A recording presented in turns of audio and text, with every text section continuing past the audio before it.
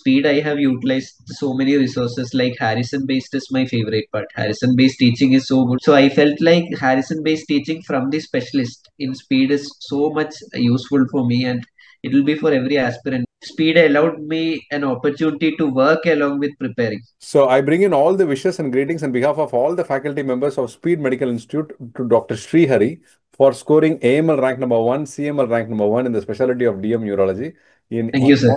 session uh, November 2025. Congratulations to you, Doctor. Thank you very much, sir. so I owe a lot to speed. Thank you, Doctor. And uh, great to have you here today. And thanks for sharing your time to share your experiences. And it will be an uh, great. We wish to know uh, what is your core interest and what is that you wanted to do. And before that, share. Can you briefly share your history from where you started till date? What all you have done? Uh, so I uh, did my uh, MBBS from Maulana Azad Medical College, Delhi. Subsequently, I did my MD Medicine from AIIMS Raipur. And then uh, uh, senior residency, I joined in JIPMER. Uh, one year I did in medicine, and subsequently four months I did in neurology. So uh, be I I want to I'm want to remain in medicine, but at the same time I feel like uh, working with the specialist departments uh, is good to uh, have a point of view how they view their individual specialties. So that's it. Uh, so that was one of the reason why I wanted to work closely with neurology, and I had attempted this exam. Great. And previously, your achievements were rank one in infectious disease and rank one in acute uh, acute care. Acute care. So, I mean, can you share something on that? Sure, sir. So, uh, like I told, I I felt these two branches are also very close to medicine because acute care medicine is a general medicine equivalent of critical care. Critical care medicine is a branch in which the 20 to 30 questions come from anesthesia, but uh, the uh, general paper will be critical care in acute care also. But then for a general medicine aspirant, it will be easy to give the acute care medicine, which has two seats in PGI for a general medicine aspirant, this is better to give because the general questions, for 20 questions will be from general medicine and it will be easier from the background. Critical care is also achievable from general medicine, no doubt about that, but then requires special effort for the anesthesia questions. And then infectious disease, again, definitely another branch which is so closely knit with medicine. If we go to medicine, we realize so much is infectious disease. Either patient come with an infection or uh, due to hospitalization, there are hospital acquired complications which are infections. So infectious disease is also something which was so rewarding for me to learn and prepare for because uh, covering a wide spectrum of infections, even transplant infections and all, which I haven't been exposed in MD medicine. Uh, that branch was so much rewarding to prepare as well. So can you share when did you uh, got, I mean, what was the exam that you got infectious disease first rank and what was the exam that you got acute care medicine first rank? Uh, if uh, last section, actually last session I haven't given, sir. Before this, immediately six months back, I, had, I hadn't given. Uh, the last to last, the previous me one year back, I had got infectious disease uh, first rank, and before that, six months back, I, I had started with acute care medicine. Very nice. And now you have given DM neurology and you have got uh, first rank in that. And is there any scope that the new DM neurology uh, will have an opportunity to take uh, Sreehari inside or what is uh, Sreehari is going to desire on that?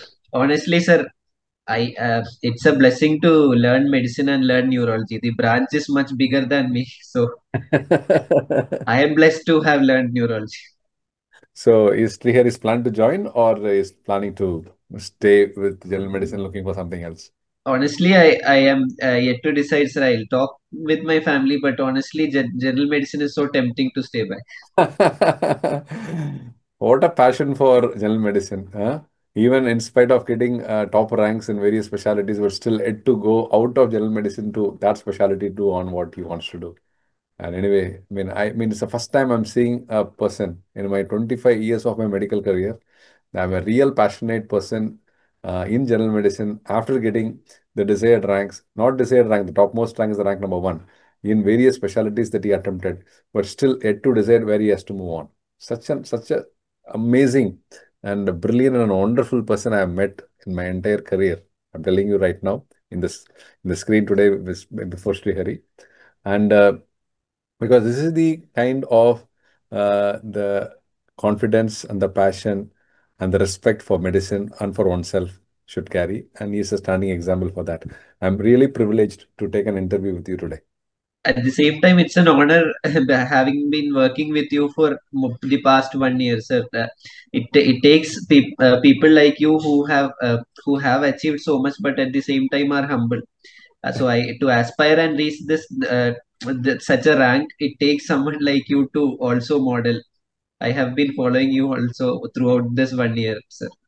Thank you, doctor. Thank you. and, uh, thanks for the great words. And uh, can we know uh, how is that going to be from now on? I mean, what is that you're going to do from now on? And what is that you have been preparing to achieve this? I mean, I want to know what is the secret behind achieving repeatedly, consistently rank number one in various uh, specialty exams in ENSS? So uh, honestly, I feel like right uh, this time what made a difference in my rank was uh, I was I had read acute care medicine and gen, infectious disease, so I was a bit comfortable with the general medicine bucket of questions. So of course, a 20, 20 25 questions from the paper comes from general medicine, and we cannot ignore general medicine considering when every every question is rank deciding. So 20 25 questions is too many. So I was comfortable a bit with general medicine because I had given two different subjects earlier, but at the same time, I kept my touch with uh, endocrinology and gastroenterology, cardiology, all these branches. Uh, cardiology, I think three to four questions came this time. So I had revised these, uh, of course, no, I, I was focusing on neurology, but at the same time, every day or at least every alternate day, I made a point to revisit some subject in uh, general medicine. And at the same time biostatistics as well. This, this time four questions had come from biostatistics. So honestly we may or may not like the subject but uh, the professors in the INIs do research and they will put question in from, from biostatistics so again i had focused a bit of my time in biostatistics definitely. Uh, i had given maybe uh, two to three days in biostatistics because i had a i had a gut feeling biostatistics will come and it paid off. Three to four questions of biostats had come. So one part i would say tell about uh, ini preparation is of course a subject preparation is no doubt needed and that is the core strategy no doubt about that. But general medicine should not be. Okay great now, uh, I want to ask you uh, about the paper orientation. How was the neurology paper? Uh, so honestly, neurology paper was a moderate difficulty this time. Uh, general medicine was quite easy this time, and that's what popular opinion was also there. And neurology was moderate difficulty. Honestly, after I came back from the exam, I felt like it's an easy level. Then when I analyzed the recalls, I understood that the easy appearing questions are also difficult level because they were trap questions. So there will be similar uh, two options or three options so that while we are busy giving the exam, uh, we might be trapped to think this is a this is the right option and it might be something else. So when recalls start coming in, we'll realize.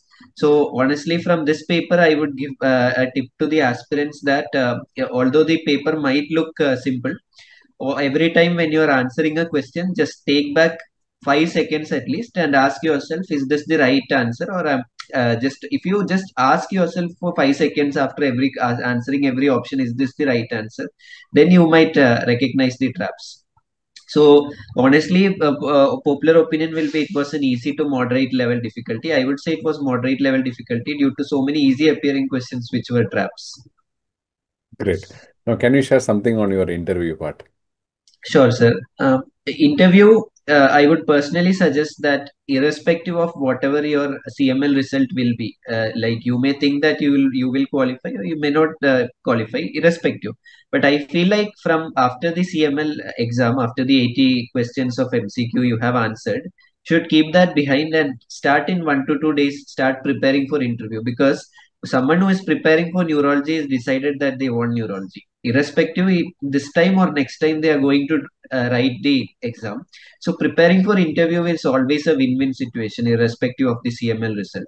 So i suggest to start preparing for i uh, personally i had juniors who had given neurology exam. They had asked me um, sir I, I, from the recalls the way uh, the other aspirants are telling the answers it seems like my answers are not right. I don't think i'll qualify and uh, i told that junior you keep all of these things behind and prepare and honestly he got rank for in uh, aml that that was a people like uh, fourth rankers can also be uncertain whether they will qualify for the interview or not. So that uncertainty can come to anyone. So I'll tell to start preparing right off.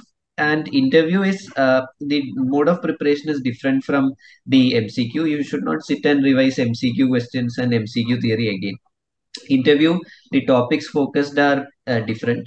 Uh, the uh, the fact based uh, topics won't be focused but approach based topics will be focused. For example in uh, neurology clinical examination uh, neuropathies myopathies and uh, motor neuron disease. So these are the things which are clinical examination based. So they may give an image of hand atrophy or there will be some foot deformity and they will ask how to approach uh, second part is neuroradiology. Neuroradiology is very important. Both my questions were from neuroradiology only they may show a CT or they may show an MRI.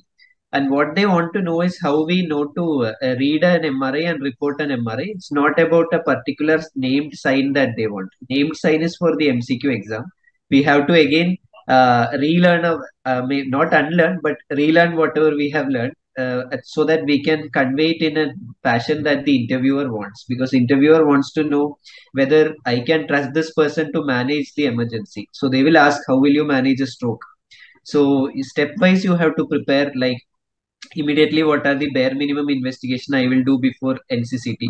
In the NCCT, what question will I ask? What will I look for? Things should be very precise in interview because interviewer will give uh, two minutes or four minutes. It's written in the uh, uh, uh in the document that every aspirant will get 10 to 15 minutes but honestly no one gets that because up to 100 people will qualify so they cannot give 10 to 15 minutes for everyone. So it's very precise interview for 4 to 5 minutes. So prepare answers which are precise and not going all around the topic and try you should not say whatever you know about a topic you should be precise and think that what all are the answers they want. So topics like i told neuroradiology and clinical neurology Great. So before writing the exam, or I mean, what was your idea of this exam? I mean, you thought that you'll get rank number one? Uh, honestly, sir, uh, uh, uh I am married to Dr. Amruta Varshini. My wife is doing uh, the, uh, neurology in JIPMER. So she had cracked neurology one year back. She was AML rank two. So wow. I had an idea about the branch. I, honestly, I would say I had an idea about the branch fra- to, from the start. I had an advantage, and she was there to guide me about interview also. Uh, honestly, I she was uh, correcting my answers and all. So so some idea I had already to start with. Uh, but at the same time, working in neurology, I other residents also in neurology who had cracked this exam had given me their inputs into how the exam is. So honestly what the input that i got is that in, uh, stroke and epilepsy is a very big uh, unit that cannot be ignored because these are the emergency topics which are expected from even an md medicine. So they will invest a lot of time and questions in stroke epilepsy. I at least i would say starting with neurology start with the big topics like stroke epilepsy that so that you are not fatigued out and then subsequently go to the other branch uh, other topics. Great. Now what can you share your experience with speed uh, sir, uh, I have been associated with Speed for one year. So, Speed, I have utilized so many resources like Harrison based is my favorite part. Harrison based teaching is so good because uh, Harrison honestly is a book I would say which uh, to read you need a you need a point of view from the expert also. So because we can read Harrison in UG, we can read Harrison in PG, and after a specialty, the specialist will also read Harrison. I feel like the way Harrison is interpreted or viewed by everyone is different. A specialist will extract out top the important things from the topic that a PG post PG pass out cannot see. So I felt like Harrison based teaching from the specialist in speed is so much useful for me and it will be for every aspirant because uh, the general medicine top uh, questions in the INI also come from Harrison. I have noticed that so many general medicine uh, questions were directly taken from Harrison tables this time. So Harrison based learning is something. 21 or 22nd? Uh, twin, uh, actually, both tables are there in both editions. Sir. So they actually they didn't go to the updates. Honestly, uh, the INISS general medicine does uh, won't focus on the updates but at this but they will uh, take the question from the uh, tables only and those two tables are there in both the editions and NEET SS i i feel like NEET SS will definitely focus on harrison updates also because that is a completely harrison based only on harrison So, who introduced speed to you? Uh, speed was introduced to me by my senior sir. When I uh, my senior doctor Abhishek, he's doing uh, rheumatology in AIIMS Rishikesh. So, uh, in in MD medicine, I was thinking of uh, joining immunology. I had a plan of joining immunology. Honestly, think plans change all all throughout. But that is when I subscribed to speed immunology, and uh, since then I have been associated with speed. Great, great, wonderful, doctor. What is the message that you want to give to your juniors aspiring for deep specialty? Uh, the message for uh, even for uh, neurology or any specialty is that uh, to during the exam day to keep the keep your cool because whatever you learned to recall and uh, and also to avoid the silly mistake in trap questions you have to keep your cool. So prepare well prepare intensively but uh, in the last two to three days don't be tense that i haven't prepared so much or the exam won't go well because honestly everyone no one can prepare neurology fully. Neurology is a vast one of the most extensive subject of medicine. No one can prepare fully. I also hadn't prepared every possible topic or i hadn't read any standard book like uh, uh, the uh, bradley or uh, adam and victor from cover to cover i, I just went through the book uh, to look at the images so the images are beautiful and the way they explain are very good and two maybe two to three sessions of Bradley only I had gone through. So it's not like top rank comes from uh, reading the uh, standard textbook cover to cover or anything. Top rank comes from uh, retaining what you learned. Even if you are learning minimum things, at least you should not lose that. So revision is key. So, but so going through one to two cycles of revision is key. And before the first try cycle of revision, do not think like I will finish all the topics perfectly and then start. Reading everything uh, will not re- uh, get a rank because reading everything uh, once we reach the fifth month of reading we lose whatever we read in the first month. So focus on revising what you read once or twice.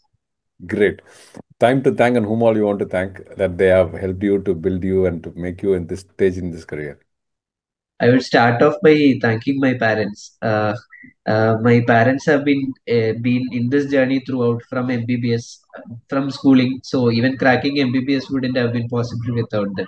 Uh, then I would like to thank my wife, Dr. Amritavarshini, uh, my in-laws and my uncle. All of us are together as a joint family here in Pondicherry. And my all my friends, relatives, juniors, and faculty, everyone that uh, who have helped me throughout at different levels and who have supported me. I would like to thank, I have gratitude for everyone. People like you who inspire me to uh, uh, work towards my goal. Uh, and the uh, I cannot have imagined uh, being able to prepare at the same time because speed allowed me an opportunity to work along with preparing. So the all of these factors are so much rewarding in the end and working with speed, honestly, I felt like uh, I could also brush up my previous topics and I was learning new things. It, it, it in, even in when I was working for the speed in uh, infectious disease material, I was learning new new things every time, and that working uh, with speed has helped me improve my knowledge so much. Sir, I I have so immense gratitude for the opportunity. Great, doctor, and you will continue to inspire thousands and thousands and lakhs of students uh, in Thank years to come in teaching medicine. Thank and you, sir. Classes are really loved by students who are studying in speed. And you yourself is a faculty and you yourself is a student. Back to forth, I mean, this is the first experience where faculty uh, for infectious disease becomes a student for uh, neurology and acute care and scores topmost rank and I again gives interview and again becomes and again continues as a faculty. I mean something incredible I can tell you because this is something you are unimaginably brilliant. Not only brilliant, the dedication and the love that you have for medicine is beyond everything. Thank you. I could feel and can sense. Thank you very much. General medicine is really blessed to have students like you. Really, I'm telling you. Really, really, really. And once again, I wish you all the very best and all the success as a great faculty in speed and also as a great, great, great uh, student of medicinal medicine. And after the super specialty, once you decide what super specialty you are in, we'll definitely get to know through that. Once Thank again, you, all the best and all the success. Thank you very much.